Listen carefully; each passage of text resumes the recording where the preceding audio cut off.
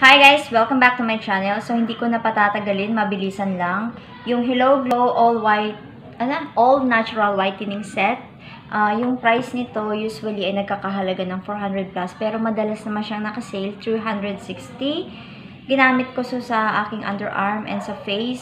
So, ano ba yung masasabi ko dito? Diretsahan na nakakakinis naman siya. Yung part na makinis na, lalong pumuti. Ang problema, yung mga scars, hindi niya natanggal, hindi niya napakinis. Pero yung maputi, lalong namumuti. So, I think this set, mas perfect siya for me. Mas nagustuhan ko siya doon sa underarm compared sa face. And also, yung sunblock naman niya maganda. Sobrang gustong gusto ko napakaganda niya, yung hindi sticky. And yung whitening cream, super effective siya sa armpit ko, lalo kasama yung ano, yung toner.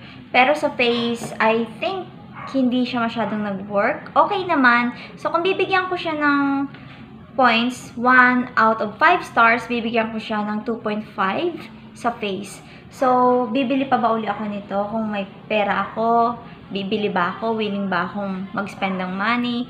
Yes, pero next time sa armpit ko talaga siya gagamitin.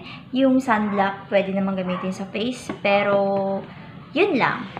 Hindi siya masyadong nag-work pagtanggal ng mga scars. Pero kung wala kang chismis sa mukha, pang maintenance, perfect ito. So, recommended siya for me. I think, ang problema talaga kasi yung sa akin, super itim nung mga peklat So, wala akong magawa kasi pandemic. Simula nung nag-pandemic, hindi nawawala yung ganong problema ko kasi hindi naman maiwasang hindi gumamit ng mask. Mask ni talaga siya guys kasi kung saan nilalagay yung mask, doon tumutubo yung pimples ko.